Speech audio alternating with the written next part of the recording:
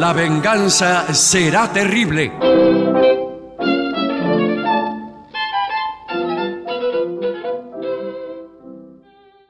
Amigas, amigos, muy buenos días.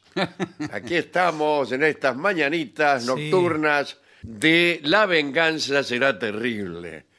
Eh, en este mismo momento acaban de llegar Patricio Barton, ¿cómo le va? ¿Qué tal? Buenas, eh, buenas Bueno, tardes. buenas. Buenos días. ¿Cómo pasa el tiempo? Sí, sí. Y ha llegado también Gillespie. Buenos días, Adelante, ¿qué tal? por favor. ¿Quiere sentarse? Sí. ¿Quiere pasar a lavarse las mismas? Bueno, bueno, de- Bueno. En, en un rato me, me lavo. Pero es, es cierto, buenos días, ¿por qué no? Sí. Buenos días porque ahora le- se escucha en cualquier parte del mundo a cualquier hora. Claro. Eh, la radio es así. Bueno, Ya somos bien. parte del día nuevo. ¿Por Bueno, qué no? ¿Ustedes no, quieren decir que me equivoqué al decir no, buenos no, días? no, para nada. Bueno, está bien. No, no, no Crucifíquenme. Ahí en el fondo. Por favor, no No es arranquemos. para ponerse así. No arranquemos Está así. Muy susceptible. No, No, no, es para ponerse así. No puedo cometer un error. Pero Bueno, sí, no, pero no. Ustedes nunca cometen un error. Pero- no sé, casi 40 años de hacer el mismo programa y no sabe decir buenas noches. Bueno, bueno, tampoco, La verdad. tampoco se ensaña así. No, Bueno, no, no. eh, porque este programa se escucha en todo el mundo ahora, Muy bien. con Sí. el tema de, Internet. de Internet. Ya no es necesario tener un área de cobertura Exacto. extensa como antes No. querían en todas las radios. Ah, en este mismo momento, a lo mejor en Hong Kong, son las 12 del mediodía. Y sí, claro que Ahí sí. está, entonces No, a buenos lo días. mejor no, seguro. Buenos días, Hong Kong. Sí. Hola, la gente. ¿Cuántos estarán escuchando ahora mismo en Hong Kong? ¿Cómo? ¿Cuántos nos escucharán ahora en Hong Kong? Algunos hay. Sí, Sí. eso seguro. Sí, porque hemos recibido muchos saludos Sí. de Hong Kong y de otros lugares eh, igualmente exóticos. ¿No alcanza como para ir a Hong Kong a hacer el programa a un teatro en vivo? No alcanza, no, no, pero eh, hay más oyentes en Hong Kong que en algunos pueblos de la provincia de Buenos Aires que no quisiera nombrar. Sí, puede Por ser. favor. Ay, que bueno, se da que no, no, por ahí no se escucha bien la radio, bueno, puede ser, pero ahora se escucha en todas partes. Pero hay pueblos que no, no, no han desarrollado este, el hábito de escucharlo. Sí, ¿Qué va a eso. Después de todo, no es un hábito universal. No, no, por supuesto. Hay mucha gente que lo hace, pero eh, eh, hay muchísima más que no lo hace. Sí. Eh, no sé a qué me refería, pero... No, a la escucha de este Es programa. Eh, Señores, eh, vamos a informar acerca de nuestras actividades. atención porque el viernes estaremos en Escobar. Así es, la, Este vuel- la- viernes, la ¿no? vuelta al teatro seminari. ¿eh? De- Sí, Ahí sí se ha desarrollado el hábito. ¿Ves? Sí, señor. ¿Por qué? ¿Cómo lo sabemos? Porque hemos ido muchas veces. Sí, muchas veces. Y qué- en general eh, hemos tenido éxito de público. ¿Cómo sabemos que en algunos pueblos no está ese hábito tan desarrollado? Porque hemos ido una vez. sí, es cierto. Sí, o ¿Cómo- ninguna. Claro, ¿cómo sospechamos? es decir, ¿cómo es que no lo sabemos y sí lo sospechamos cuando no hemos ido nunca? Claro. Bien, bueno, muy bien. Pero bueno, no hemos ido nunca a ¿Puedo Hong decir Kong. una cosa? Me toca No ser abogado del diablo. Sí. No habíamos ido nunca a San Isidro. Bueno, y pero fuimos ya- a San sí Isidro. ido. Ah, bueno. Pero Pero, como tres veces ya fuimos. fuimos a San Isidro, fue un éxito rotundo. Pero, Sí. como- pero ya- Bueno. ya fuimos varias veces. Bueno, pero, es pero- como que me diga, no habíamos ido nunca a La Plata. Bueno, una vez no habíamos ido nunca. Bueno, pero digo, hace quizás 40 años que sí. es un prejuicio de nuestra parte pensar que determinados pueblos Tiene razón. no nos razón. quieren. Quizá no fue Eh, el ejemplo bueno. más adecuado, San Isidro, pero muchas veces hemos ido por primera vez a un lugar Sí. creyendo que no iba a asistir ni el loro. Es verdad. Y, Y lo confirmamos. bueno. Eh, ¿Qué más? Tenemos sí. solo Escobar. ¿Qué pasa? Yo voy a hacer una pregunta, ¿no? Sí. Eh, ¿Cuándo se va a producir nuestro debut Sí. en el Teatro Chacarerean? En agosto, el 2 de agosto, será la primera función en lo Usted que siempre será... tiene una respuesta para todo. Sí, ¿eh? sí, No, sí. pero Me ¿qué llama quiere que- muchísimo la atención No, la liviandad con la que responde. No, es que ¿Pero qué está quiere con- que le diga? Eso La- puede ser hijo de un conocimiento exhaustivo o, ¿O hijo o de una irresponsabilidad absoluta. No, señor, ese es el 2 de agosto. en el Teatro Chacarerian y debo contar una infidencia. Cuando No, se, por favor. No, cuando se enteró Ma- Mauricio Dayú, Sí. el actor y además el propietario del teatro, Sí. casi se larga a llorar. Sí, de la, de Pero, la eh, bronca. no. Sí, pero mira que eh, Dayú, De la desesperación. porque llora fácil. ¿eh? No, pero es oyente del programa. Sí, pero llora mucho. Es prácticamente vamos a ir a la casa de él a hacerle Sí. el programa. Vamos a ir a la casa, pero llora por cualquier cosa. Dayú. Bueno. Sí, es muy de llorar, todo- como todo- Esther Goris. Sí, Bueno. sí. sí, sí. Siempre le dan papeles de llorar porque él eh, Sí. eh, llora. Bueno. Entonces es así. Le pasan eh, continuamente cosas que lo hacen llorar. Es así. Es que la técnica del actor, creo que es Stanislavski, eh, ¿Quién? Sokolitsky. dijo, ¿quién? es que hay que pensar cosas muy tristes y uno llora Claro. de verdad, aunque el argumento sea una pavada. Y, y el argumento es por otro lado, pero Bueno. él piensa en algo que le acaba de pasar ese día. Por eso los actores siempre hacen cosas eh, destinadas a que su vida sea triste y de- desgraciada. Claro, para acordarse de para eso. después poder acordarse de ellas y actuar. Sí. Pero discúlpeme, si fuera así, Es que es estarían así. actuando. Se olvidan, porque empiezan a llorar por su verdadero pesar, y se olvidan la letra, eh, se olvidan Bueno, todo. eso es, sí, eso es inevitable. Y bueno. O, o- o ponen cara de el personaje a quien le pasó aquello que recuerdan Claro. y no del rey de Dinamarca. Claro, que están todas las obras. Sí, sí. Ahora, ¿qué? Si tiene que hacer una comedia, ¿se acuerda de algo gracioso? Gracioso, claro que sí. Eh, hay una excepción a esta técnica que es en el momento de amoroso. Ahí no conectan con. ¿Y con qué conectan? Porque ahí son súper profesionales, no pueden. eh, ¿Cuánto que sabe ¿Cómo- usted cómo? ¿A de se actuación? refiere? No, digo, Es no. un tema, cuidado que es un tema. Claro, Sí. claro. Cuando están en una situación amorosa, una escena Claro, se romántica. tienen que hacer los tontos. Claro, ahí no piensan en. Mire, hay parejas y no voy- Incluso tiene que notarse que no le está sucediendo nada. Claro. El profesionalismo. con Ah. gran éxito en O sea, el casos. profesionalismo es ser el peor actor posible. Hay algunas parejas, y no quiero señalarlas, Sí, No porque es radio. claro. ¿Y ¿Con qué lo va a señalar? eh, de actor-actriz, Mm, Ah. sí. que se han conocido ¿Qué le parece? en un set de televisión. Está la historia de Carlos Monzón. No, no, no, yo dije que Con no voy Susana a mencionar Jiménez. nada. No, no, no, Bueno, no hablemos fueron de que- pareja. Bueno, sí, pero Bueno. eso es algo viejo. Bueno, Yo digo de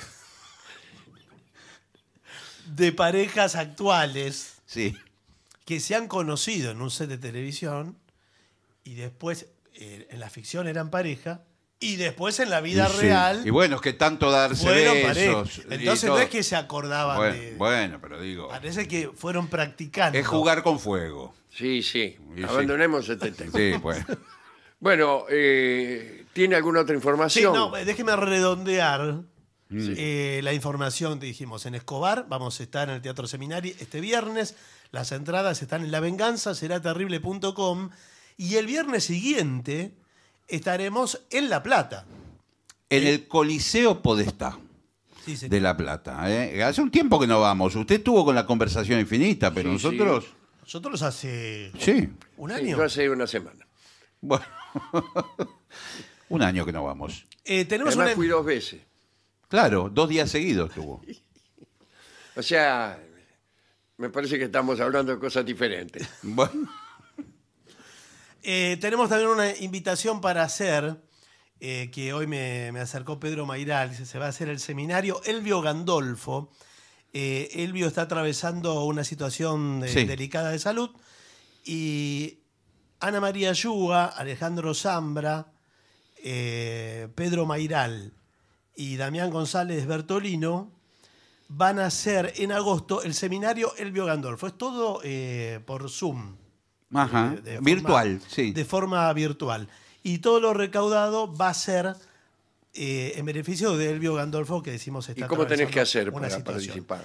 Pueden ingresar a Now Experiencias. Now es N-A-U. Sí, Mm, sí. Claro, perfecto. Experiencias. Now Experiencias arroba punto com y ahí está toda la información del seminario Elvio Gandolfo, a quien enviamos un abrazo. Un abrazo grande.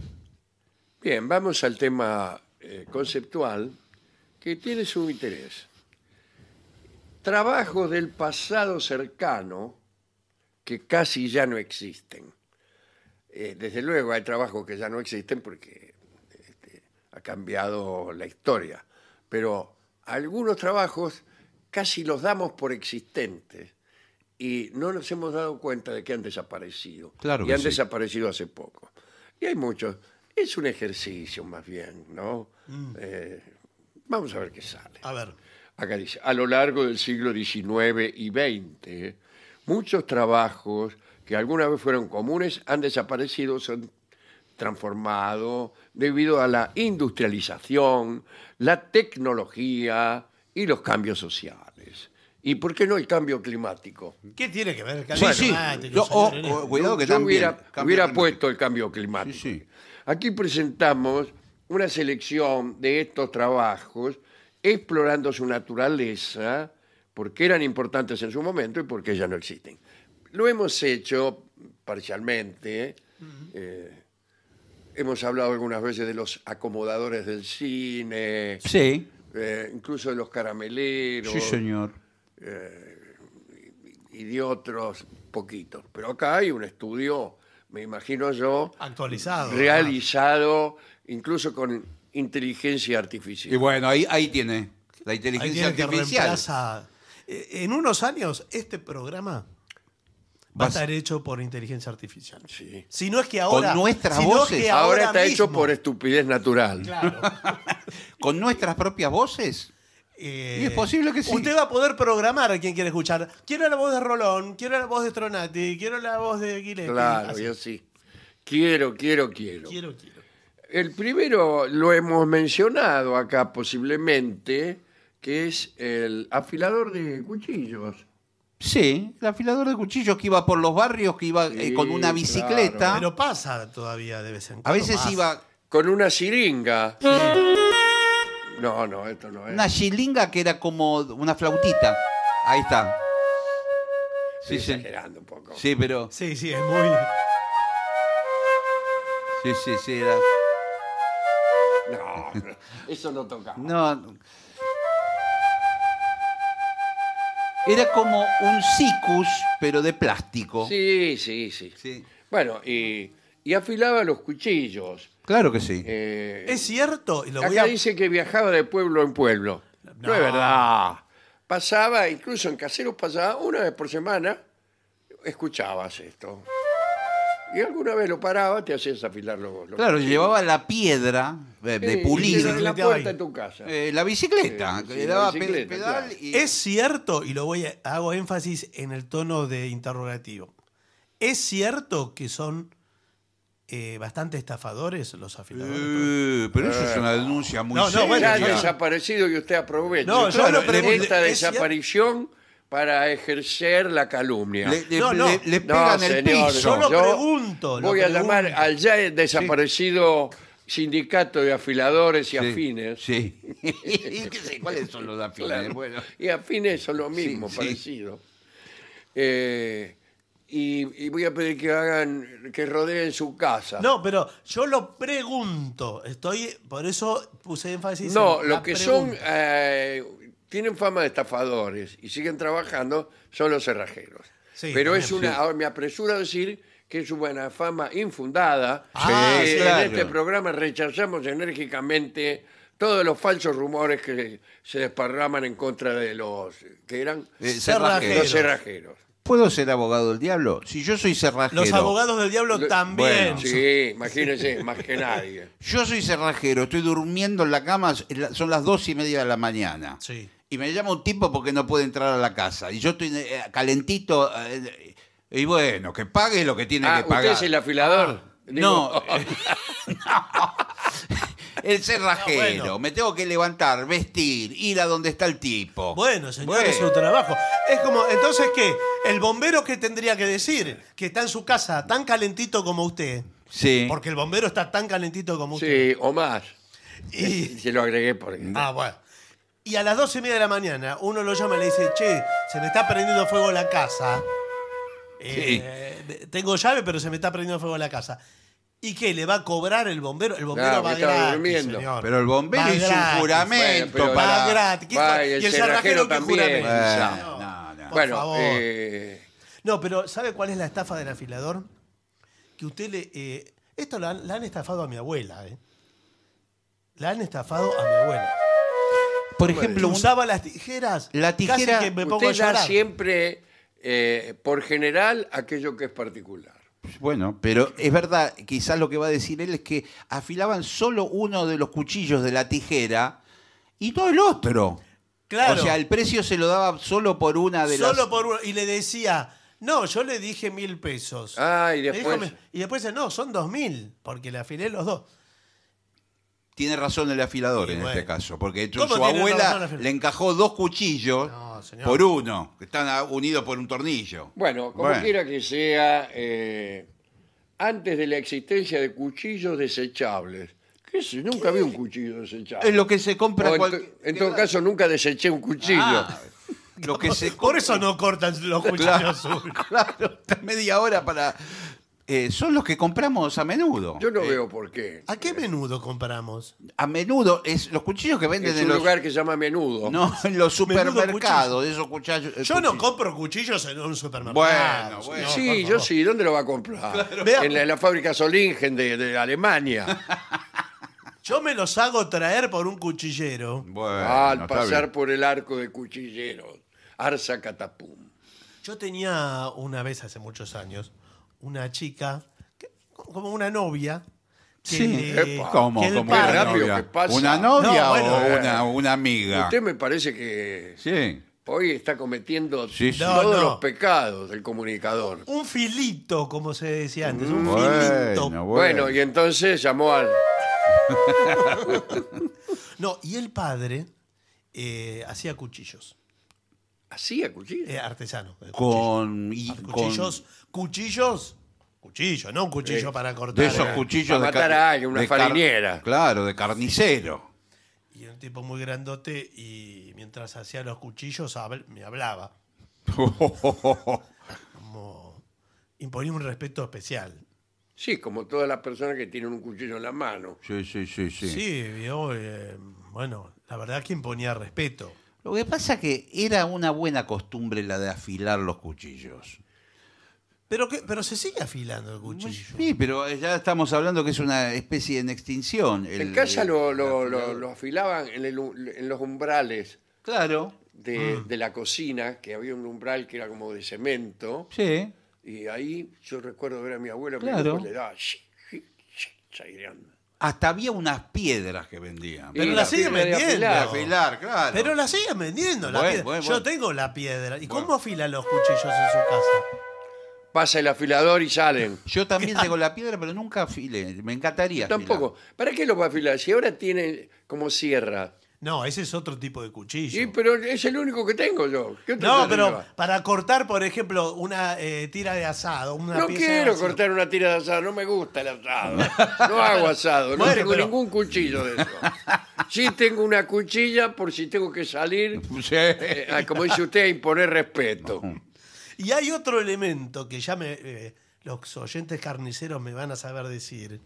O usted. ¿Qué tal? Buenas tardes. ¿Qué tal? ¿Cómo Soy le el va? carnicero de la Ah, esquina. ¿cómo le va? Entonces ustedes- Eh, me dijeron que me necesitaban. Sí, sí. Entonces usted sabe seguro. El carnicero tiene dos cosas. Una es para afilar el cuchillo La vaina. y la otra es la vaina. No, eh, no se llama vaina, ¿o sí. La vaina del carnicero. No, no, no, no. Le estoy diciendo Es la- como, es como una, Sí, como una como una cosa espada. de acero. no. Ustedes se están refiriendo a una cosa que es eh, cilíndrica. Ex- Sí, Exacto. como una espada. Eh, tiene. No, no es como una espada, es un cilindro que tiene una cierta textura y que cuando vos le pasás el Eh. cuchillo hay que trabajar con las dos manos. En la izquierda tenés este ar- artefacto que efectivamente tiene un nombre, Sí. que no es el que ustedes han dicho. Y eh, en la derecha la cuchilla que querés afilar. Sí, sí, sí. Es como y una- mientras tanto, mirás al horizonte Sí. como para eh, hacer ver que tenés aprendido bien tu oficio. Es como una Gracias, me voy a atender a la carnicería. No, no, pero espere. Es como una lonja de cuero. No, no, esa es la de afilar. Y la otra es la que el Chaira, señor. ¿no se llama? Chaira, exactamente. Bien, bueno. La chaira- Dije vaina. eh, me- me La chaira no es para afilar. La chaira es para nivelar, para que no se desbalancee Ah, bueno, bueno. la cuchilla. Bueno, muy bien. Bueno, Son discúlpeme, el afilador de cuchillos, eh, bueno, terminó por la existencia de cuchillos desechables. Sí, sí, Acá sí, dice sí. eso. qué Sí, sé sí, yo. la Qué gente- raro. Los afiladores eléctricos Sí, Y- también. y no bueno. sirven para nada, son malísimos. Y con la producción en masa de herramientas baratas. Claro, porque un cuchillo de porquería ahora vale mucho menos que antes, me parece. sí, Sí, y entonces eh, cuesta menos que una afilada. sí. Sí, sí, tiene razón. Eh, terminamos con los afiladores. Adiós. Bueno, adiós. Adiós. El colchonero no está aquí. Pero el colchonero yo no lo vi. eh, Mira que. Pero tengo usted- unos años. Porque es más joven que yo. Sí, Pero, pero, yo he visto colchoneros. sí, sí. Venían, te desarmaban el colchón ¿En su casa? en tu casa, sí. Ah, mire. Se ponían, tenías que tener un patio, un lugar, ¿eh? Claro, pues sacar todo el Porque te relleno. llenaban de lana todo. Claro. Sacaban la lana del colchón y daba la sensación de que el contenido de un colchón era infinito. claro, no, Y sacaba, sí, sacaba sí. y siempre había. Y te la pasaba por un aparato llamaba la cardadora o algo así. Y eh, aumentaba el volumen de la lana. Ah, como le Y inflaba. pues claro, la inflaban porque la lana se iba se aplastando. apelmaza. Se apelmaza y el colchón queda más duro. Entonces estaba, hacían eso durante un rato largo, ¿eh? Se quedaban una mañana entera, por ejemplo. Y después lo armaban. En algún momento quedaba toda la lana afuera y, e inflada. Claro, claro. Y parecía imposible que pudieras Que la meter metiera. tanta lana en, en un Claro. espacio tan pequeño. Y esa noche dormía. Y esa noche Increíble, sí, me andaba bien, imagino. pues ya a las tres noches no te Sí. acordabas más de nada. Lechero. El lechero. Lechero. sí, sí, Yo sí. llegué a ver un lechero en mi casa. Eh, eh, los lecheros en los, en los barrios, especialmente en la provincia de Buenos Aires, se conocían por su nombre. Había distintos lecheros que competían. Ajá. Yo nombro a Lorenzín y a Bernardú lecheros de casero. Bernardú, qué buen Qué apellido, Bernardú, francés. Lechero, Qué buen. ¿no? Origen francés, me parece. Me Bernardú. gusta Bernardú para. Se escribe Bernardou. Claro. Bernardú. Muy bien. ¿Y qué traían? Venían en unos tachos, ¿no? Venían la- la unos tachos. Metálicos. tacho metálico grande, de unos tendría 10 o 15 litros, qué sé yo. Y, y- y después un tacho que me, eh, servía como para medir. Claro. Eh, Era de un litro, ahí cabía un litro. Entonces, del tacho grande eh, echaban un litro al... O sea, la jarra esa. Llenaban el, el otro... El medidor. El, otro, el medidor.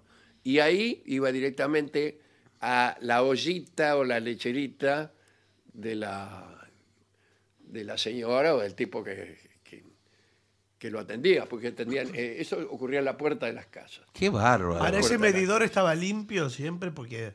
Se iba limpiando de, de medición en medición. Sí, pero de Sí. leche en leche. Y eso. at- Entre leche y leche se iba haciendo una especie de yogurcito. Claro, por eso digo, eso trae leche de. Bueno, pero esa leche era una leche muy gorda. Claro. ¿Qué tal? Acabo de llegar. ¿De qué hablaban? Sí, sí, Del señor Bernardú y su leche. Ah, bueno, bueno. Su leche gorda. Bueno, eh, acá dice, entregaba leche fresca diariamente a los hogares. Dice, generalmente en botella de vidrio retornable. No saben nada. La botella de vidrio fue la que hizo desaparecer al lechero. Claro, era la que vendían en los Claro, ahí almacenes. sí. Eh, proveía su- un servicio esencial antes de que las cadenas de supermercados, bla, bla, bla, bla, bla, todo eso. La pasteurización, la refrigeración y los cambios en la distribución de alimentos hicieron que este servicio fuera innecesario. Claro, señor. Hay que eh, abolir la pasteurización. Claro, Para Bueno, la trabajo para volver al, al viejo lechero. Claro, bueno, la pudra. pasteurización actual que hacen con la leche hacen que no se corte nunca. Nunca. Claro. Pasa un año y está la leche bien. Y antes se cortaba, sí, Claro. al día siguiente. Quedaba agria, yo me acuerdo. Claro. Ahora, ¿qué leche nos estamos tomando? Esta es. eh, No es bueno, leche, señor. Buenas tardes. Bueno, buenas tardes. Eh, una de las acusaciones que recibían los lecheros era la que la de que echaban agua a la leche. La diluía. Lechero, échele más leche al agua. Sí. Este, era la queja de los clientes. Le venía Eh, adulterada. ahora eso no se puede hacer porque ya le viene, ya, ya le echaron agua o lo que sea a la vaca, de en la fábrica. Sí. Eh, bien. Eh, ¿Qué es la pasteurización? Eh, Tiene La que ver con. Luis Pasteur. Sí, señor, porque La hierven, la leche, matan todos los bichos. Y- Bueno. pero cambia el gusto de la leche cuando Bueno, pero- Sí, Usted ¿o lo no? dice de una forma como si ¿No se dio pavada. cuenta? ¿Usted nunca trató de tomarse una leche hervida con... Sí, Eh, cambia. Cambia. Sí. Es horrible. Bueno, la otra también es horrible. pero- bueno, y Ahora hay muchas leches, vio todas las leches que hay. los que hemos visto esto, recordamos la maniobra del lechero. El tacho era grande, muy grande. Tenía una altura considerable. Sí, yo llegaba me una acuerdo. garrafa. hasta la mitad del muslo del lechero. Claro. Y tenía dos manijas. Eh, y entonces el tipo levantaba la rodilla y hacía descansar sobre el muslo el tacho grande y ahí iba regulando el, Claro, lo el trasvasamiento generacional. Claro, sí, para Los verter. lecheros solían usar la siguiente indumentaria, ya cuando era un lechero Un señor bien, lechero. bien clásico y caracterizado. Boina, boina negra, faja Sí. negra y bombachas. Blancas. No. De cualquier no, color. porque Los gauchos no usan bombachas Ah, bueno, bueno. No, creí que por el tema Bombacha de... blanca usa mi cuñada. Creí que era por el tema de la leche. ¿Cómo saben a que usa su cuñada? Por favor, señores, por favor. No, porque si no vamos a hablarlo con No, respeto. creí que estaba vestido de cambiemos blanco. de tema. Bueno, Bueno, eh, venían, en, en- venían en carro los lecheros. Sí. Venían en carro. Directamente del tambo capaz que venían. No, venían de la casa. Ah, bueno. bueno, pero... pero la leche tenían una vaca. Teni- Era no, no, teni- eh, tenían, digamos, a ellos les llegaba la leche del tambo, de man- no sé cómo, Claro. no sé cómo. No, no tenían una vaca en su casa. no. Pero hubo lecheros con vaca mucho antes de ese Mucho lechero. antes de eso había lechero con vaca y también había algunos que andaban con la vaca por ahí Claro. y la ordeñaban en la puerta de cada casa. Ante la vista y paciencia eh, ¿Qué, de qué- los niños. la incluso. qué indigno para la vaca. ¿Qué ¿no? niño- ¿Cómo hacer- le haces tomar a un niño un- una Sí. cosa blanca No. que sale de la ubre de Lo una que vaca? pasa que- A mí ni con una pistola en la nuca. no, claro, es verdad, porque es la leche, como decía Gorda, como dice Barton, Sí. que si usted le saca con un cuchillo la parte de arriba, es manteca. Ah, mire, entonces, tan gorda es. Sí, no, pero sí, eh, la famosa nata. Claro, la Bueno, nata. sí. bueno, La nata, bueno. ¿qué tal? ¿Cómo está? ¿Qué tal? ¿Cómo le va? Pero eh, la vaca, yo digo, yo vaca, Sí. Sí, caballo. no, yo vaca, eh, es como me, me daría pudor ir de casa en casa y que me estén ah, sacando de la ubre. ¿A usted le gustaría que su hermana fuera... No, de mi hermana no hable porque. No, hiciera ese papel? no, no, digamos? no. no. Le pido por, Por favor fin, por que, fin. no, que no traiga a Eh, mi bueno, hermana bueno, a- bueno. acá al programa. Tampoco se enoje así para, como leche hervida. Bueno, acá dice, encendedor de farolas. Bueno, eso, Sí, eso. es- Eh, eso sí. no. ¿Qué Eso está en los libros de historia, Sí. cuando, con los mandadores de Mazamorra, el aguatero, Es muy el antiguo. encendedor de farolas. No, dejate en broma. Eh, está hablando del tiempo la luz de gas. Me parece que los artefactos antiguos, eh, por ejemplo, en Londres, pero deben tener de tener ya una luz moderna dentro, pero me parece Sí, que... bueno, los eh, eh, bueno. es verdad esto. Sí, sí. que- Aquí incluso quedaban, eh, no lejos de aquí, en, en el Bajo Belgrano, muchos faroles del tiempo de la luz de gas, ya reemplazado con Ya reemplazado lamparitas eléctricas. con luz eléctrica. Telefonista, no hay más telefonista. Conectaban manualmente las llamadas, bueno. Sí. ahora no. Sí, hace mucho que no. Y, eh, bueno. Sereno. Pero serenos hay. Sereno y sale. serenos hay, sí, serenos. Sí, en las Hay en obras. todas partes. Sí. Pero bueno, era eh, el sereno público no existe más, hace mucho que no existe más. ¿Que andaba caminando por las calles? Anda, eh, yo lo he visto, he visto algo parecido a esto en España. Cuando yo viajé por primera vez eh, en los barrios, eh, había las plazas, había un tipo que tenía las llaves de todos los edificios de departamento de la zona. Ah, Y entonces vos golpeabas las manos sí. Llegabas a las 3 de la mañana, ti, ti, ti, y venía el sereno, Sí. era una persona que tenía un llavero grande con llaves muy antiguas, y él te abría la puerta de abajo, digamos, de tu Ah. edificio. La puerta general. Sí. Después vos tenías la llave de tu apartamento, lo que sea. Pero el tipo te abría abajo. Y de algún modo servía para garantizar una cierta seguridad. Ah, qué interesante. Estaba ahí, sí, sí. Pero el tipo tiene toda la información de toda la- Además, además era un tipo, Sí. realmente tipos grandes, muy decidores, Mm. y que conocían el nombre de todo, Claro. que conocían Sí, los sí. fatos de todo. ¿Quién vino? ¿Quién no vino? Imagínense. ¿no? Eh, cartero del telégrafo, el que traía los telegramas. Claro, si no hay más telegramas. tampoco. Sí, hay. Sí, hay telegrama. Sí, el telegrama de, de- de despido. Ah, y hay pregunte. más que nunca. Sí, sí, eso hay. Eh, bueno. Ah, bueno, no hay más ahora. Te- ¿Cómo te lo mandan? Es con- igual el cartero. el entonces- cartero normal, común, lo único que tiene que firmarlo, el Sí, telegrama. es que no hay usted. cartero común tampoco. Sí, hay cartero. Acá hace mil años que no- yo no recibo un cartero. No, pero porque lo tirarán por abajo de la puerta, pero... Ah, bueno. Eh, molinero. ¿Cómo tiene que ver Molinero, pero eso es molinos? muy- Eso- eso- ya, ya le empezaron a faltar, ¿viste? Claro. Eh, dice. Ah, el carbonero. ¿Carbonero? Claro, el- ahora el carbón se vende en los supermercados. Como Sí, cualquier la cosa, verdulería. si es. Claro. Si Ah, es que se vende. antes Pero existía- antes había una cosa que se llamaba la Pasteur eh, y que eran como corralones. Eh, En el Gran Buenos Aires había muchos.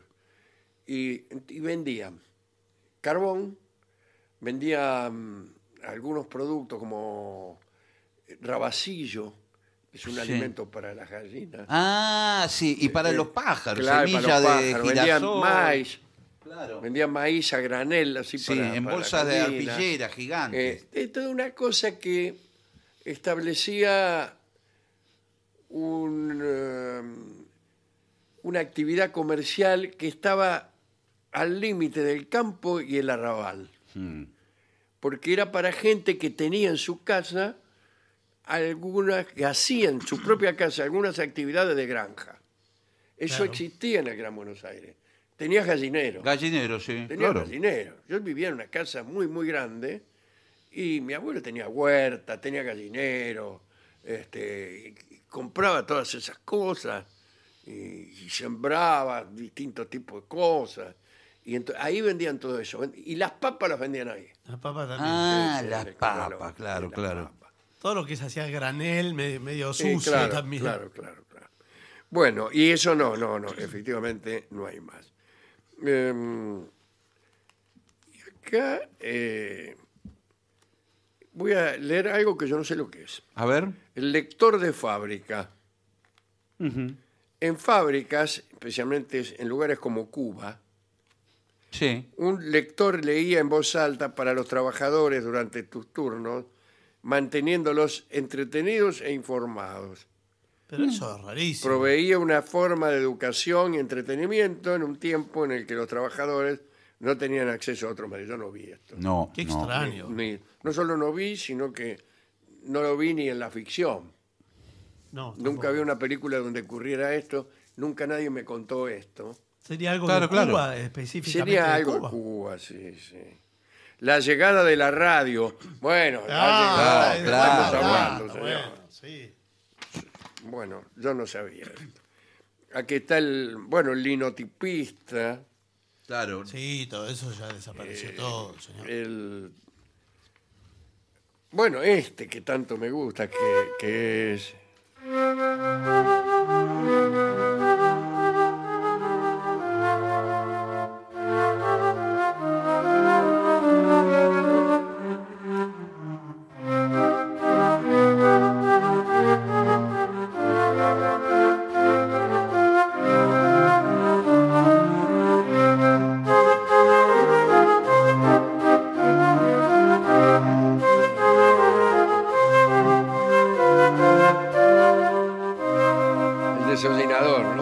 ¿no? Desollinador para las chimeneas. Chin, chimení, chimení, chin, chinchero. qué tipo de suerte el desollinador Siempre estaba todo negro. de- Todo- yo los he visto pocos pocos Yo los Pero- vi en, pero películas. Sí, no, pero yo he visto personalmente algunos. Venían en bicicleta. y se vestían a propósito con una especie de uniforme negro muy raído y usaban una, Una galera. ¿no? una galera, sí, sí, Sí. sí, ¿Y un sombrero de copa. Y que se tapaban las chimeneas de, de- de- de- ¿Qué sé yo? de carbón, calculo. sí, no Pero- sé, no sé. Claro. Sí.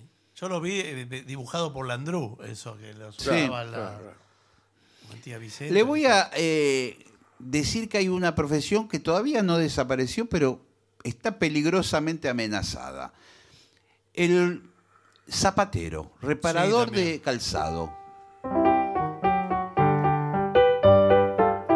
Sin embargo, acá. En el Monte barrio Grande hay uno. En ¿Eh? Monte Grande hay uno. Pero acá a la vuelta hay uno también. bueno, Sí. es un Yo señor que... enfrente de mi casa tengo uno también. y, y entonces no está punto Bueno, No, pero- yo- pero igual no arregla nada. El, el mío, digo. de- eh, El Eh, ¿para mismo- qué este- lo vas a este me parece que el que yo digo, lo único que tiene es un cartel en la puerta que dice compostura de calzado Claro. Y que debe haber sido pintado en 1934. sí, sí, sí. Porque si uno mira para adentro, no, no estoy seguro de que esté Hay una mesa de dinero, no eh, tiene nada. remendando zapatos, sino que por ahí vende otra cosa. Sí, sí. Y también, quizás la manufactura de las zapatillas que usamos están hechas de tal forma que hay que tirarlas eh, hoy por hoy. Y además que no se usan ¿Cómo hay que zapatos. tirarla? Se usan Y pocos cuando zapatos. se- Ya nadie usa zapatos. Claro. Se usa mucho menos, sí. Casi. Eh, eh, voy a hacer una predicción. A ver. En 20 años, Sí. etcétera. No, no. no, pero eh, Ya eh, nadie va a usar zapatos. hay, pero hay mu- muchas mujeres que usan eh, tacos altos o, Sí, Y o las zap- mujeres quizás sí zapatos usan, con sí, tacos sí, que zapatos. sí, sí. y que son los que más requieren servicios de compostura. Pero posiblemente haya un renacimiento del zapato con otros materiales. No Mm. el cuero, sino símil cuero, imi- imitación. Sí, cuero Porque el ecológico ahora. diseño del zapato es difícil de reemplazar. Mm. Está bien que uno puede ir a la entrega de los Martín Fierro con zapatillas blancas, Sí. y eso queda muy bien. Sí. Pero por ahí hay otro foro donde se te hace un poco necesario el zapato y ahí choca cuando uno es Paul McCartney, Sí. no sabe qué hacer. No, bueno, pero, pero ahora, Paul, te digo, Claro. eh, Usa, hay unos eh, híbridos Ecológico. de zapatos, zapatillas. Eso es lo que estoy sí, comprando Sí, yo ahora. sí, sí. que Eh, son tiene- muy cómodos y que son... Tienen el aspecto del zapato, pero suela de goma. El zapato lo que tiene es que es muy incómodo. Claro, la suela. Yo eh, tengo un- unos zapatos hermosos y nunca los uso.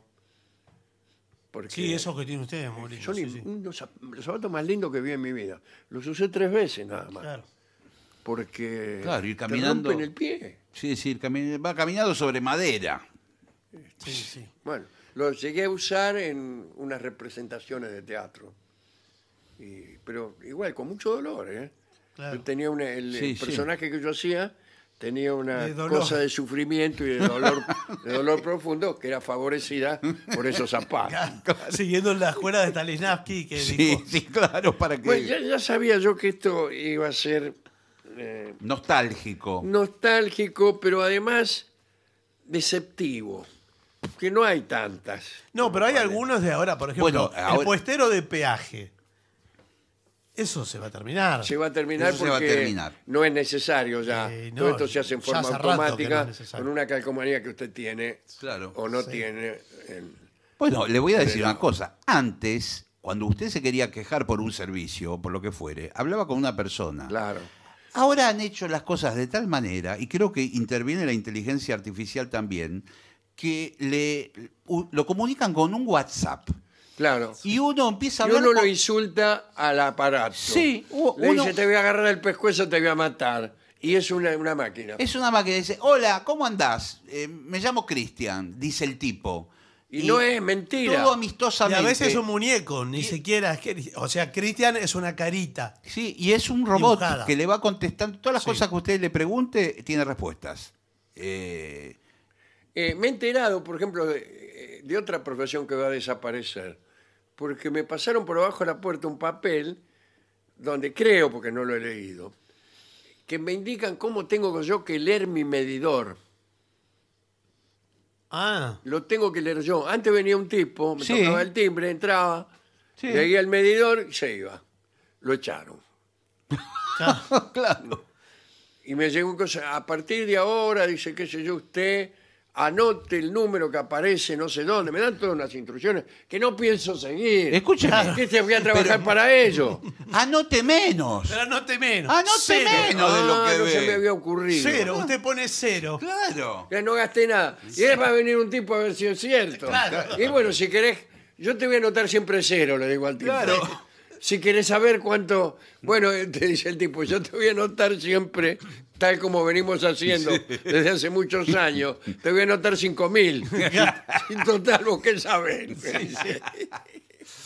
Es raro lo del tipo que pasa con el medidor, ¿eh? Yo veo que pasa también. Y tienen una computadorita Sí, Que muy mi- misterioso. que me imagino que será para fiscalizar. también. Escúcheme, eso es una Sacan una foto. eso es una perinola eh, informática. ¿Pero de dónde saca usted Dos la información? Dos personas que tienen el mismo consumo de- co- le cobran dos cosas completamente Eh. distintas y Porque están son son- distintas tarifas, distintas zonas, Bueno. distintas... eh, un vecino suyo le cobran Ah, otra cosa. Usted vive en un barrio mísero, Sí. Claro. por ejemplo, y le cobran más. Sí, Claro. no, no, pero. No, lo que pasa es que veo que hay. eh, usted puede ser tarifa 4, residencial 3, Claro. tarifa Ah, 1, ah, residencial es donde 7. vive los macanudos. Es- es no solo donde vive, sino la superficie Buah. cubierta y el voltaje que consumió antes. es Ah, Lo que comparativo. acostumbra hacer debe ser. Eh, claro, porque si usted consume más que antes, también lo multa, etc. Cambian y así. Bueno. No es una perinola. Somos un medio de comunicación. Para mí es una perinola. Sí, esa usted no puede decir a- algo así. Hay suerte. una cosa que yo no entendía ni cuando había, no sé si hay ahora. Los inspectores de los colectivos. Están El- en la parada. El chancho. Están en la No, parada ¿pero qué con, hacen? con una No, libreta. el chancho sabe que, eh, perdón que nos refiramos así al señor Sí. inspector, vigilantea al colectivero. Al colectivero. No, No, al pasajero. Porque yo he visto diálogos entre colectiveros que se cruzan y se dicen, cuidado, que Sí. en tal lugar está el chancho. Claro, el tipo está en la, en la vereda con una libretita. Claro. y A ahí ver es- si pasan Sí, sí. a ver si pasan. Claro. si pasa horario, en qué condiciones y así. Porque ahí la jerga de los colectiveros, Sí. también hay una cosa que se llama empalmar, Ajá. Que le dice, señor, por favor. ¿Estás seguro que la jerga? sí. Me empalmaron el otro día. Le dice, no, empalmá. Dice, empalmá ahí en Croara. Sí. En Croara el camino de cintura, Ah, empalmá. quiere decir que el tipo viene fuera del recorrido Sí. y se incorpora. Ah, se a saltea una determinado cosa lugar. y empalma. Ah, a partir bueno, de ahí bueno, sigue. bueno, bueno. Porque el Chochán está en, en ruta 3, no está en. Ah, muy bien. Croara, Dice, por Y ejemplo. después le toman el número de los boletos. No, eso lo hacen cuando están por llegar. Nunca vio, ahora no pasa eso. No, eso Claro, no pasa. Pero eh, nunca vio cuando el colectivero estaba a punto de llegar. sí, ¿no? anotaba, Sí. sí. Iba anotando el número de todos los Sí, boletos. me acuerdo. Y mientras tanto manejaba con la rodilla. Sí, sí, Y sí. iba- pelaba una cosita que tenía ahí, iba mirando el número de boletos y anotaba. Una planilla. Mientras tanto andaba a 120 kilómetros por hora Sí. por la avenida Crovana. Ahora, todas las cosas que hacía el colectivero antes, porque daba el vuelto, contaba los billetes, había monedas, daba los boletos, Sí. anotaba eso. Y bueno, si se acordaba, manejaba. Abría las puertas de adelante y de atrás. Sí, Eso claro. lo sigue haciendo. Sí, ahora también las abre. Sí. Imagínese Sí. que lo tenga que abrir la gente. Pero me parece que, bueno, no, no lo sé si al abrir una abren todas o. No, que tiene cada una. una. Cada Sí. una. Abre sí. una. Tenían, eh, los colectivos viejos tenían unos sistemas Con manija. completamente mecánicos. Entonces Sí. vos veías eh, una manija y el tipo hacía un recorrido enorme y había toda una serie de conexiones hasta que se abría la puerta. Ingeniosísimo. Sí, era como una tecnología antigua y hay un- un- una cierta belleza de ciertas tecnologías obsoletas. Sí. La tecnología del, del siglo XIX, principios del XX, de los trenes, por ejemplo. Sí, sí. Este, Sí, señor, claro. de, de las máquinas demasiado grandes.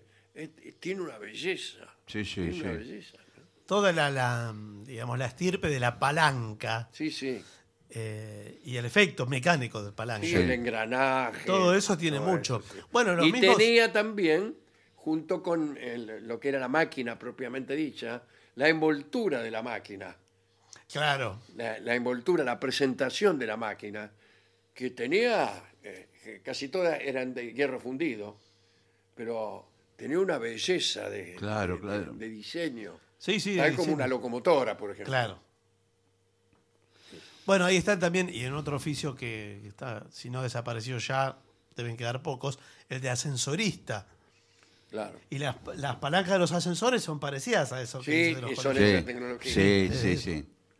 Sí, eh, no hay más ascensoristas. Nosotros, eh, en nuestro edificio, claro que es un edificio de dos pisos nada más, Bueno, pero, pero, hemos claro. abolido el ascensor.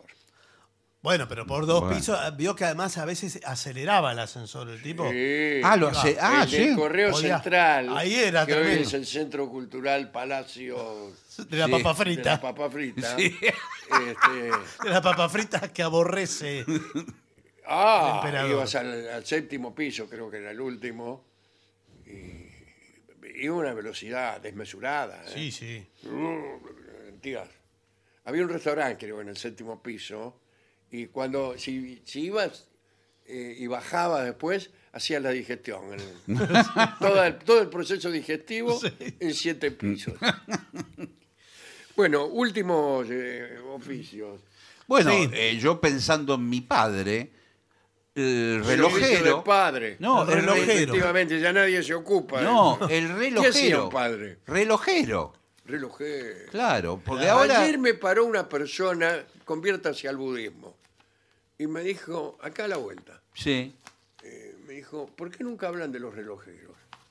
Bueno, Mire, mi, mire, acá padre está. era relojero y en épocas que era una maravilla ver esos eh, relojes, por ejemplo, el reloj de bolsillo, cuando Sí. se abría la tapa, No. ver todos esos engranajes, toda esa cosa tan genial. Eh, y los de pulsera en miniatura, lo mismo. eh, Sí, eh, los de pulsera Sí. eran este que- casi inconcebible que el tipo pudiera sí. trabajar No, claro. de esa manera. A mí me gustaban los relojes cuando era chico, me gustaba abrirlos, Sí, sí. y a veces los hacía sonar, ¿no? Este, hay una cosa que se llama el áncora. Sí, claro. este, y, y donde están los rubíes, que son... Los rubíes, que bueno, a, a- a mayor cantidad de rubíes, mayor la exactitud, la duración Claro, de, claro, esa, de claro. esa máquina. ¿Y usted sabe del oficio? ¿Aprendió algo? No, yo solamente aprendí a lavar. eh, A lavar relojes, No, sí. despertadores. Pero los Después relojes se lavan con escupida, por ejemplo. Claro, usted le pasa un algodón con saliva y más o menos... No, sacar la máquina del despertador, ponerla en benzina y después ponerle el aceite en Ah, todo. aceitito le ponía. Claro, aceite, a todo. Yo creí que uno lo soplaba. No, adentro todo. No, y le queda está. todo. eh, eh, Porque usted tiene el aliento vaporoso. Sí, ah, Lo oxida. Eh, claro, imagínese. sí, sí, sí. Usted te desayunó grapa y anda soplando los relojes. Hoy, hoy los relojes son todos eh, de- tecnológicos, son con pantalla, son como los, Sí, los se celulares. acabó. Sin embargo, tienen el- los, los que los más caros no son así. No, No, no, siguen, son mecánicos. eh, existen las grandes marcas. Sí, las todavía. grandes marcas. Sí. Eh, bien, buenas tardes. Sí, ¿qué tal? Eh, venía porque tengo este reloj que me funciona mal. Pero eso es una porquería, ¿para qué lo va a arreglar? pero ese ¿Quién es que... Eh, yo, discúlpeme, soy un cliente ofuscado por la Sí. vida en general. No, no, Bueno, es uno de eh, los mejores clientes que tenemos acá en la relojería. Me va atrasando una hora diaria, más o menos. Pero, Pero usted debe ya estar- está. eh, Debe estar sucio el mecanismo porque como Claro. anda más lento. ¿Por qué no me lo revisa y me lo arregla, Bueno. señor? Pero por- En vez de, de- de- de mirarme como si hubiera cometido alguna falta moral. Pero ¿por qué año va usted? 1989 debe Sí, andar sí, eso más porque o menos. además es de esos que tienen fecha. Sí. Claro, sí, le atrasa todo. Y entonces ni siquiera sé cómo ponerlo. Tengo que calcular. 17 de enero, dice acá la fecha. Sí, el 3 de la tarde. Sí. Pero No, yo ya no. sé, por el cálculo que hago, pero ya se me cansó la cabeza. Y sí, la verdad que. Antes tenían los así. relojes una cosa que era más menos. Sí. Ay, ¿cómo? Entonces Claro no- que sí. nunca eran exactos. Si, si vos lo tenías que regular para ver si lo querías, o sea, era voluntad. Claro. ¿Querés ¿Cómo que vaya más rápido o menos rápido? Eso estaba Ah. después adentro. Adentro estaba. Claro, ¿sí? adentro. Adentro, no es para que cualquiera. Claro. Pero adentro vos lo abrías y había una cosita y tenía más menos. Claro. Entonces yo decía, ¿cómo? Si la virtud es la exactitud, ¿cómo puede ser que yo, sea relojero o no, lo pueda acelerar un cachito? Claro. Claro, tiene que estar siempre en el medio en tal caso. Y No, tal pero caso no, o pero- tenés que invocarlo después de muchos intentos, Claro. que te, en 24 horas Yo me acuerdo Que esto que Claro. de relojes que atrasaban o que adelantaban, eh, mi, Ah, mi viejo eso. Los, re- los regulaba, claro. y le decía, pruébelo un par de días El y tipo traiga... de venía un tipo, decía, Sí. mire, este reloj, eh, como le dije, Claro. no atrasa, eh, no avanzo en nada, etcétera, etcétera. Y el señor lo arreglaba, el tipo se iba, pruébelo, y al rato venía, o al otro día venía, mire, Sí. este reloj ha dejado atrás a todos los relojes de la ciudad. Claro, entonces tenía que... Y también venían clientes que decían, me atrasa, Adelanta ahora que... me Es una me- barbaridad. Me, me atrasa un minuto por semana. Venían clientes que... Y bueno, claro. Sí, pero es mucho un minuto por semana. Bueno, Ah. pero... eh, Llegaba tarde que- a todos lados después. Claro, al cabo de un claro, tiempo. claro. Pero bueno, hasta que hubo la, la hora oficial, porque si no así es que todo comparativo. Claro, bueno, eso. eh, la, la hora oficial fue un logro y que, se, que ocurrió gracias al ferrocarril. Si los ferrocarriles necesitaban, Claro. para su puntualidad, necesitaban una referencia Claro. eh, que fuera una, única. Entonces apareció la hora oficial, apareció el observatorio, Claro. Greenwich, todo eso. Claro, porque eh, está en el Observatorio Naval. No sé si sigue estando ahí la hora oficial. Eh, en el Ministerio Marina estaba antes. Claro, el Observatorio Naval, yo ahí lo vi. Me parece que fue en la presidencia de Alvear que se instauró la hora oficial. Puede ser.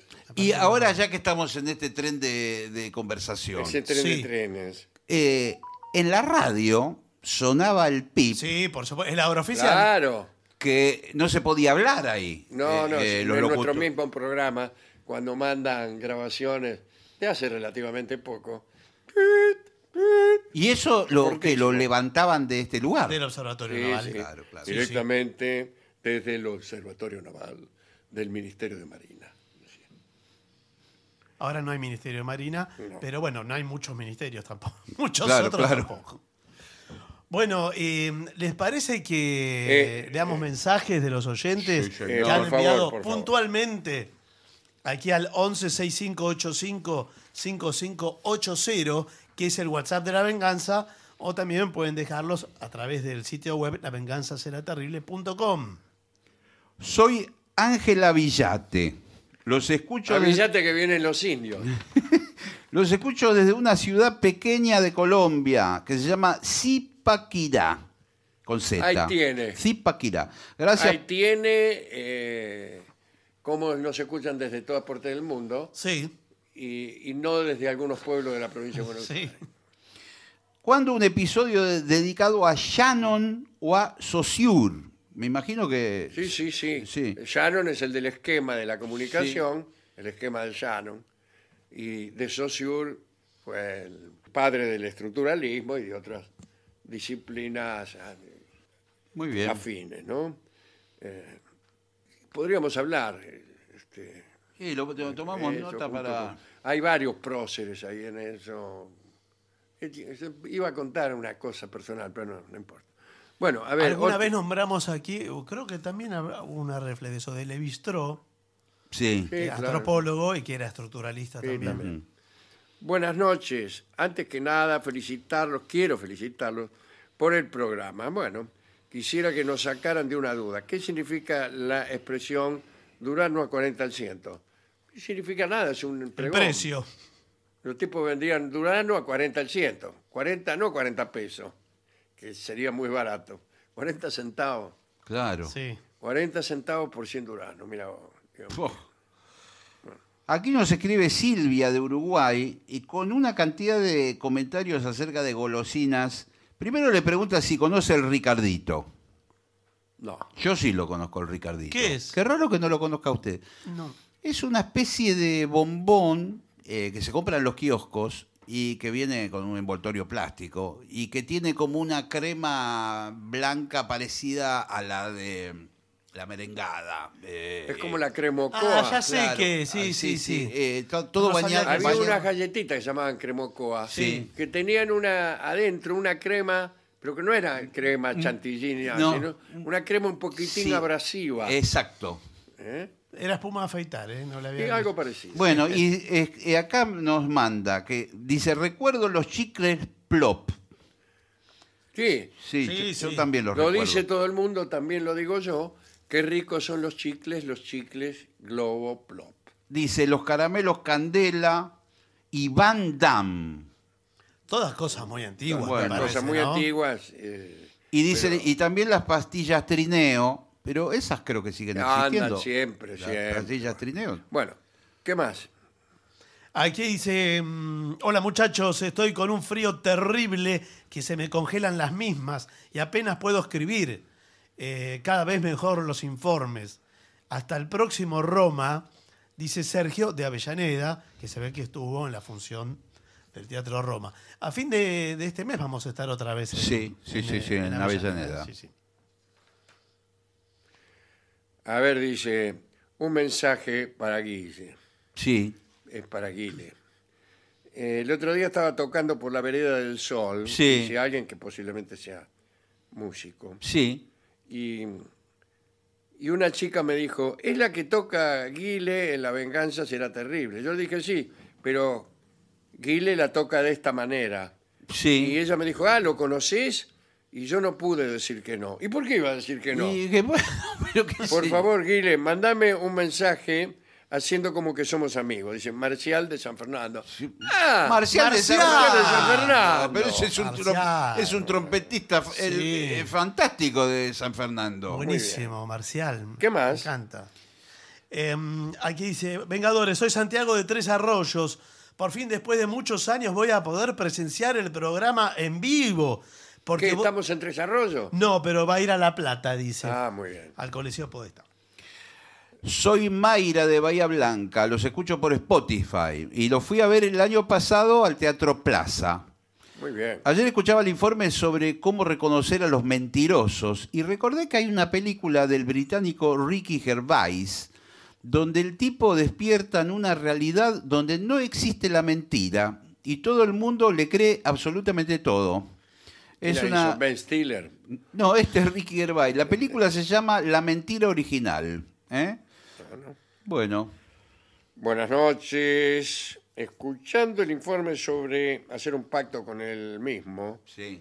le quiero decir a Barton ¿Qué? que aquí me tiene, amándolo sin ningún pacto, dice Laura de Mataderos. A Dolina y Gillespie y el trío los quiero. Bueno, pero muchas a gracias. Barton lo ama. Bueno. Está arreglado. Sí, No. sí. Embrómese. Eh, acá alguien me dice también, eh, me dice, Barton, la leche fresca es leche pasteurizada a baja temperatura. Ah, baja. Y, y la entera es a alta. Ah, muy bien. eh, de Y la todo misma. así por el sí, estilo. sí. Fríos saludos desde Esquel, Pati Pereira. Gracias. Gracias, Pati. Bueno. Pati, te quiero. El otro día hablamos de libros y hojas faltantes. Quería contarles una anécdota con un libro de Gillespie. Tuve una novia en cuya biblioteca estaba el manual animal Sí. de la sexualidad humana. Sí. Y bueno, por alguna razón, cuando nos separamos, quedó entre mis libros. Eh, años después intenté leerlo y resulta que tenía muchos faltantes. No sé bien qué pensar. Aún lo tengo, Guile. Le- lo puedo llamar cuando lo vaya leyendo Sí. y me dice qué escribió en esas páginas que Sí. faltan. Bueno, tal vez encuentre la razón del abandono. Que claro que sí. Claro, Es una evidencia eso, ¿eh? Bueno, esto lo dice Leandro de Tablada Bueno, muchas gracias. y no tengo más mensajes. Aquí alguien dice, soy Zulo de Córdoba. Sí. Quiero mandarle un saludo al imbécil de Franco, que cumple años, el imbécil. y ama el programa como yo. Los esperamos por acá con muchas ganas de ir a verlos, todavía riéndonos sobre cuando hablaron de la ira. Eh, Ah, era. Sí, dice Gillespie siempre tiene razón. Bueno, muchas gracias. Dice el imbécil Bueno, de bueno. Zulo. Por de favor, ¿cómo lo va a tratar así?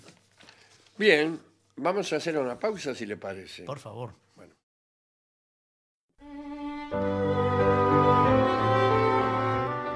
Continuamos, La Venganza Será Terrible. Estamos también en internet, en lavenganzaseraterrible.com. Allí pueden suscribirse gratuitamente, por supuesto, a los canales de Spotify y de YouTube de La Venganza, así como eh, ver en qué teatro nos presentaremos próximamente, Sí.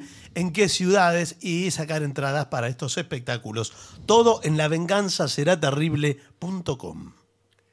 Hablaremos hoy de coleccionistas de libros, de algunos. No, no sobre el asunto en general, sino que presentaremos a tres o cuatro coleccionistas muy especiales, extravagantes, ladrones, etc. Muchos cortesanos, reyes y escritores fueron ávidos coleccionistas de libros. Hablaremos de algunos. Bueno, dice lo mismo que acabo de decir. Bueno, muy bien. Y empieza con Lorenzo de Médicis, que coleccionaba libros y enviaba a los eruditos de su corte a buscar manuscritos griegos allí donde los hubiera. Manuscritos en general, me imagino. Y esta fue una política eh, de los coleccionistas de todos los tiempos, a partir del rey de Nínive, Asurbanipal, que, bueno, fue el, creador de la biblioteca de Nínive, la más antigua, quizá. Y entonces mandaba a buscar libros. Libros eran tablitas de arcilla, en el caso de ellos, hoja de papiro, qué sé yo, lo que sea, em, por el mundo y los compraban, los robaban, etcétera, y los traían a la biblioteca.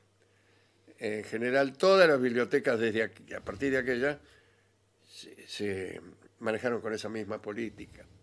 Por ejemplo, la biblioteca de Alejandría. Les estaba contando yo que había leído un bello libro sobre la biblioteca de Alejandría, donde no, lamentablemente no había datos la autora empieza por confesarlo.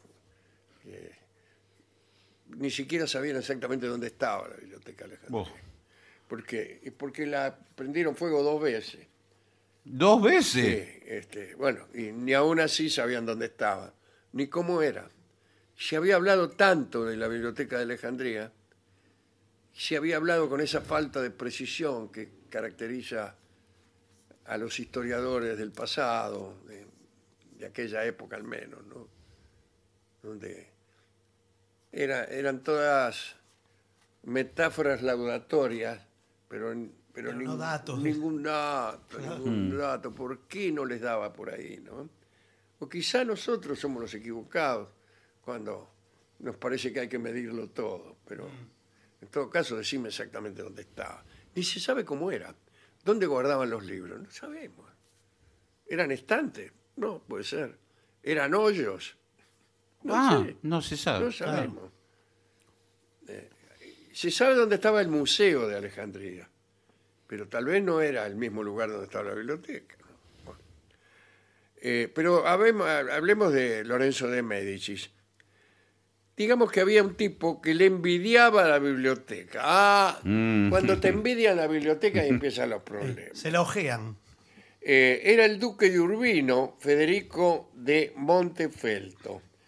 Eh, era un coleccionista que había puesto a trabajar a 35 copistas solo para lograr superar la cantidad de libros que tenían los Medici. Por ahí la, la manera de gestar buenos libros. Estamos hablando... eh, Federico de Montefelto nació en el 1420 y algo. Eh, la imprenta se inventó en 1440. Ujú. Quiere decir que estamos hablando de, de libros antes de la situación de la imprenta. Ahí las bibliotecas eran más tentadoras para, para los latrocinios porque eran más caros los libros. Los libros eran carísimos. Ah, sí. Cari, claro, sí. sí. Y hasta que aparece Gutenberg y inventa la imprenta. Entonces después todo fue más barato porque se podían eh, multiplicar los ejemplares muchísimo. Y antes no. Cada ejemplar era único. Tenía que repetirlo y repetirlo. Bueno, los chinos ya habían inventado algo parecido muchos siglos antes. Y te dice 1440. Yo creía que era 1450, pero debe ser porque la memoria me recuerda el tema de los incunables, los llamados incunables. Sí. Mucha gente cree que un incunable es un libro viejo. Y no, un incunable es un libro de los primeros 50 años de la imprenta. Y tal vez en realidad un incunable es un libro anterior al siglo XVII. O sea, de 1500 en adelante ya no son incunables. Y por eso yo le atribuí ese año de 1550. Los, los libros de ese siglo, que son impren- eh, eh, impresos, se llaman incunables. Pero solo los de esos años. Claro. No hay ningún libro que se llame incunable. Pero la gente Quedó como... quedó, Claro, le quedó que- la sí, palabra. sí, ¿no? quedó. Esto es un incunable, dice. Sí, sí. Y es un libro de editorial Thor de 1924. Bueno, el caso es que este eh, Federico de Montefelto le envidiaba la biblioteca Lorenzo ya tenía muchos copistas trabajando eh, para copiar eh, libros. Los pedían prestados, los copiaban y los devolvían, pero a veces no. Como ese método parece que no lo satisfacía del todo, eh, Federico de Montefelto contrató además unos espías que se encargaban de conocer el recorrido de los envíos que le llegaban a Lorenzo. Y después de obtener esa información, contrataba a unos mercenarios que atacaban a los correos y le afanaban los libros, le afanaban. Bueno, eso es mucho mejor. Sí. Eh, cada tanto, Federico de Montefelto mandaba a sus espías a revisar los catálogos de la biblioteca Medici para indignarse si descubría allí alguna obra que él no tenía. Y con todos aquellos ardides, Federico llegó a superar en cantidad y calidad la colección de Lorenzo. ¿no? Un librero llamado Vespasiano de Vistici dijo que esa biblioteca contenía la mejor colección de libros antiguos y modernos, sagrados y profanos. Cada libro estaba encuadernado en carmesí y decorado con plata. ¿eh? Pero Federico de Montefelto, que poseía tantos libros, leía uno solo, que era la historia romana de Tito Livio en latín. Mirá vos. Eh, Lorenzo de Medici será el mecenas, el primero de los mecenas que tuvo Miguel Ángel. Lo llevó a su corte y lo obligó a pintar para él, ¿no? Pero murió antes del 1500, Lorenzo. Dos siglos después de la muerte del duque Federico de Montefelto, eh, el Papa Alejandro VII quiso adueñarse de los libros que varios descendientes de Federico habían cuidado. Pero hubo un problema. Los vecinos de Urbino estaban tan orgullosos de la biblioteca este- del antiguo duque que se produjo una revuelta cuando Alejandro se quiso llevar los libros a Roma.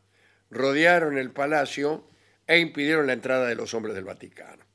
El Papa pudo aplacar la resistencia de los ciudadanos de Urbino y hacerse con una colección eh, con la promesa de una exhibición en los impuestos durante un año. Y así lo hizo, ¿no? Eh, En realidad valía mucho más que eso la biblioteca. Algunos reyes franceses no fueron muy escrupulosos en la adquisición de sus libros. Aquí está. Carlos VIII tenía su colección particular y después del sitio de Nápoles se llevó la mayor parte de la biblioteca real de esa ciudad. También se llevó la sífilis. ¿Ah, sí? Sí, sí, parece que sus soldados intimaron con las mujeres de Nápoles y, y bueno, con ese resultado. Y gracias a esa intimidad pudo llevar a su biblioteca centenares de libros. Y después también estuvo en las bibliotecas de Nápoles, de donde sí. eh, trajo la sífilis. Además, sus diplomáticos tenían instrucciones de conseguir libros en los países donde estaban destinados. Esas instrucciones no eran un agregado menor a sus funciones. En cada viaje de esos embajadores a París, por ejemplo, debían presentarse ineludiblemente ante el rey Carlos con un ejem- ejemplar que el rey no tuviera. Venía el tipo, a ver dónde está el libro que no tengo. Claro. Entonces venía y decía, eh, La felicidad de, de Gabriel Rolón. Ya lo tengo. Uy. Ya, lo echaba el embajador, Claro, claro. ponía otro. Claro. Y así. Bueno, difícil, ¿eh? Sí, es muy difícil. Hemos nombrado alguna vez a Juan de Berry, Juan de Berry, eh, cuarto hijo de Juan el Bueno, que era un rey francés también. También coleccionaba libros este muchacho. Este, emulaba a su hermano Carlos V, de Francia, fundador de la Biblioteca del Louvre. Carlos V había ordenado escribir en cada uno de los miles de tomos la siguiente frase: Ce livre est à moi. Este libro es mío. Firmado Carlos. Eh, Juan de Berry pedía prestado el libro, no lo devolvía y los incorporaba a la colección. El director de la Biblioteca Real le reclamó una Biblia. El secretario del rey le reclamó otra. El duque de Guyán un breviario. Ante cada pedido de devolución, Juan de Berry le preguntaba a los dueños de los libros si no se avergonzaban al ejercer el reclamo por tan poca cosa. Y de esa manera se armó una biblioteca de miles y miles de libros. Está bien. Solo cuando estuvo a punto de morir, Juan de Berry, preocupado por el futuro de su alma, le ordenó a sus ayudas que devolvieran los libros que había pedido. Y cuando se le preguntó cómo podían reconocerlo, le dijo que determinado sector de la biblioteca estaba ocupado solamente por libros eh, Robados. prestados y robados. Claro, como tantas. Claro, se imaginó que iba a ir al infierno por ladrón. Eh, voy a contar esta última que, que me gusta. Es allá a fines del siglo XIII en Japón, bajo el, el- régimen feudal de aquellos años, había muchas bibliotecas. Una de esas bibliotecas, la Kanazawa Bunko, ¿qué tal? Había sido fundada en 1275 por un militar, el general Ojo Sanetoki. Eh, cuando Sí, lo sí. nombraban a Ojo Sanetoki, se ponían el dedo índice debajo del ojo izquierdo y presionaban hacia abajo, Ojo. como eh, significando Una- cuidado, Una advertencia. Bueno, eh, esto, eh, la biblioteca estaba ubicada en la villa que poseía Kanazawa, cerca de donde está hoy Yokohama, que es el pueblo anexo a Tokio, ya es parte de Tokio. Sí, está todo pegado. Los yogunes, el régimen de aquel entonces era el de los shogunes, eh, este, es decir, era un poder concentrado en la clase guerrera, en la clase militar. Y después había, había una clase más simbólica, pero el poder real lo tenían los militares. Eh, bueno, y ahí estaban los samuráis. Las familias samuráis establecieron escuelas, bibliotecas para preservar y transmitir la herencia literaria. La herencia literaria eran en el Japón los clásicos chinos, las escrituras budistas y los escritos propios del país. Eh, se llamaban buke-bunko las bibliotecas y quiere decir literalmente bibliotecas de los guerreros. Eh, contenían también secretos de familia, esas bibliotecas, celosamente guardadas. Bueno, Ojo Sanetoki pretendió ser eh, el más grande de todos los coleccionistas. Se propuso hacerle la guerra al resto de los, de los coleccionistas y apropiarse de todos los libros existentes que habían sido escritos hasta el año 1270. Bueno, eh, y lo hizo, le declaró la guerra. Pero con tanta mala suerte que ya perdió la primera batalla. y entonces no pudo seguir adelante. Eh, bien, eh, él empezó así, entraba a las casas, eh, saqueaba la biblioteca, entraba a los templos y se llevaba todos los libros que encontraba. Pero enseguida el resto de la familia reaccionó y, y lo derrotaron. De todos modos, este, este hombre, Ojo, Sanetoki, apiló en su Kanazawa, Kanazawa Bunkon, así se llamaba, la, la más importante colección de textos del Japón. Su sala de lectura se abrió a estudiosos, sacerdotes, miembros de las familias este, más encumbra- encumbradas, pero nunca permitió que los libros salieran de allí. Mm, Te los prestaba, pero los tenías que leer en la biblioteca. claro. Y la Kanazawa Bunko todavía existe. Eh, la prefectura gubernamental la conserva como biblioteca de libros extraños y antiguos. Si usted va a, a Tokio, Yokohama, pregunta dónde queda la Kanazawa Bunko Y está. y está. Después usted si quiere va a otro lado. Bueno. No, bueno, sí, hay de todo para Pero ver. qué lindo todo, era ver esos libros. Tokio es una ciudad Y sí, señor. Maravilloso. ¿Qué Sí, le parece? Pero qué, por qué- favor? qué lindo. No sé si se los prestarán para que los pueda ver ahí, los Sí, libros. también.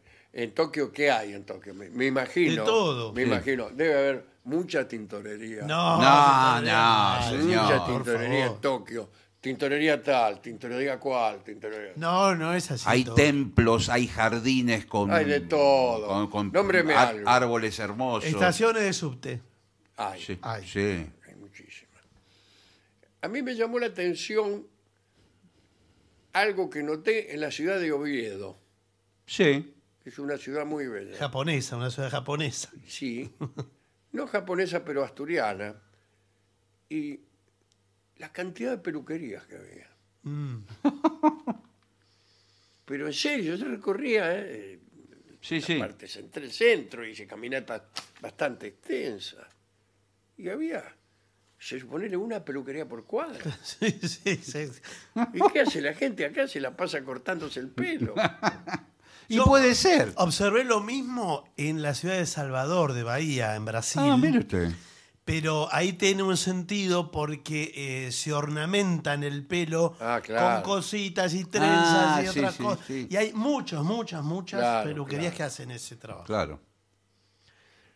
Bueno, esos son los Pero tres coleccionistas que quería yo mencionar. Vamos a escuchar un hermoso tango que tiene un hermoso título también. Es Corazón de papel. Corazón de papel. Lo canta Gardel. Creo que es un tango de, de Cátulo Castillo, me parece. O al menos de José González Castillo, que era el papá.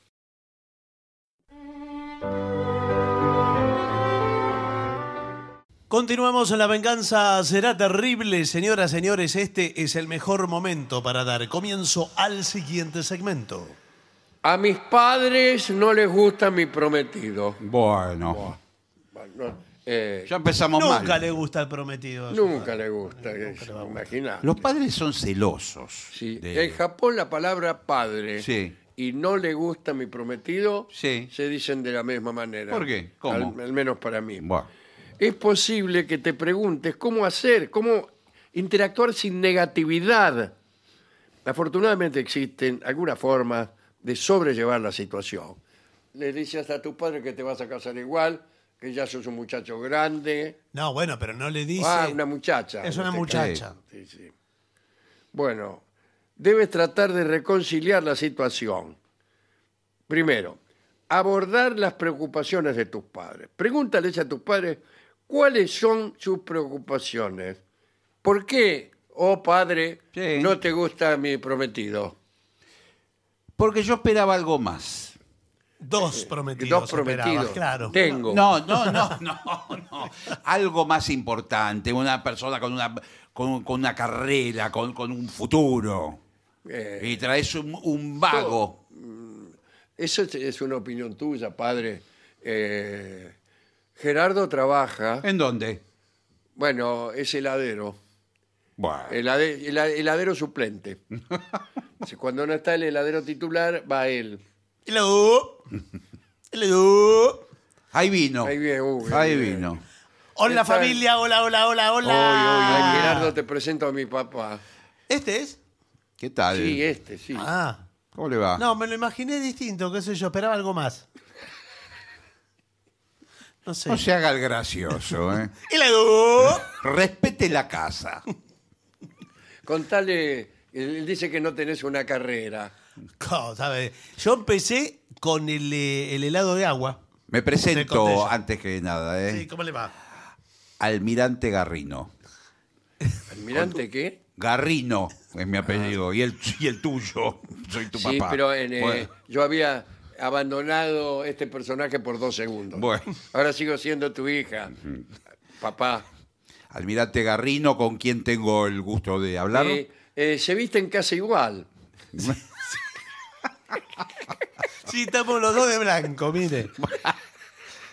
¿Ve todas estas medallas? Sí. Y, y la luz. Yo te voy a explicar cómo el uniforme de los marinos es blanco.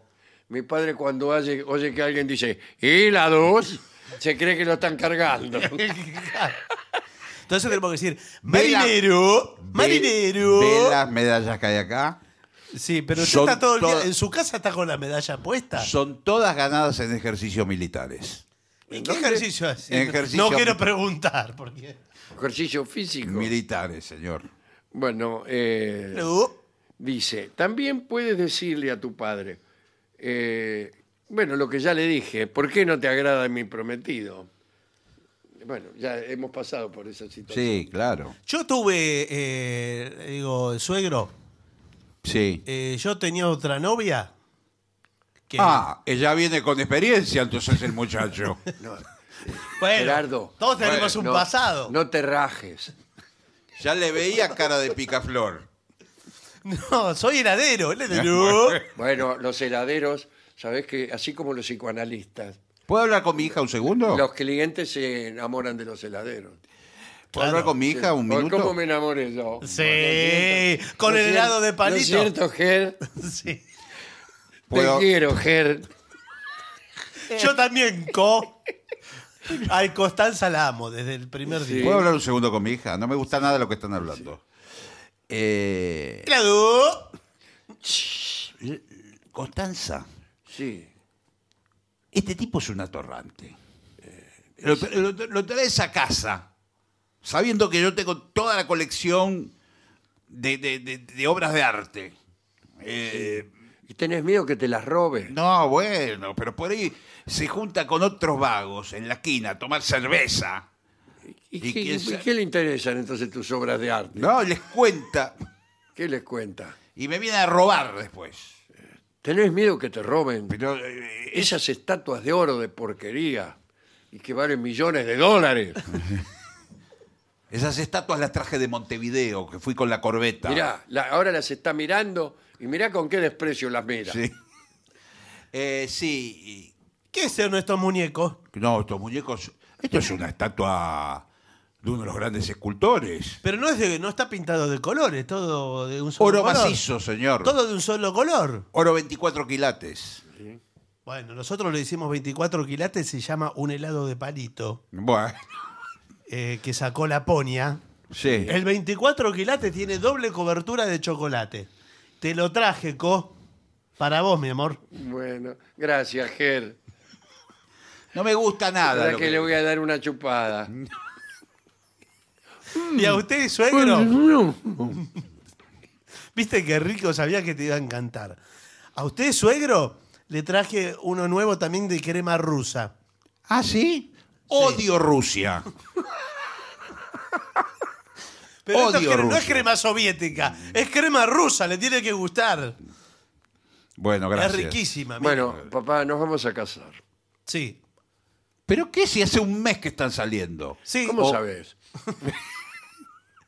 Hace muy pocos días. Todavía no se Nos conocen. enamoramos, fue amor a primera vista. Ella me venía a comprar los helados Sí, sí. Sí. y yo ya la veía venir a media cuadra, cómo se mueve, cómo se mueve.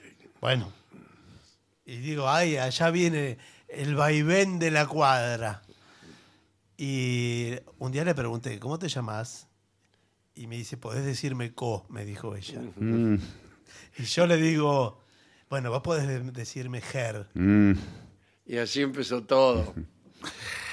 Eh, eh, Constanza, ¿nos podés dejar un minutito que quiero hablar con él? Sí, cómo no. Ah, estoy enamoradísimo de su hija. Estoy como loco, lo- estoy como loco. Cómo Mire, estoy. le voy a decir una cosa. Desde que pasó esa puerta, usted en- entró en un hogar, Sí. en una casa, en una casa de Sí. familia. Esperaba más, esperaba otra cosa, porque ella me Le- dijo que le- le- y le voy a- tenían millones de dólares. Le voy a pedir que respete la casa. Sí, sí, suegro, sí, Respete cómo no. Porque ¿Cómo no? si no, ¿Cómo no? ¿Cómo no? Sí, sí. ¿ve esta arma que tengo acá? ¿Cuál? Acá, en esta mano. Sí, ¿eso es un arma? Es una faca. ¿Es que es un arma? Sí. Bueno, En esta casa no se joroba.